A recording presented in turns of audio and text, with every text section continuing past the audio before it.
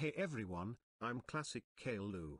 And this is what I look like on Flashthemes. I look just like Caillou but I'm wearing a grey shirt, and my voice is Brian. I hope you liked it.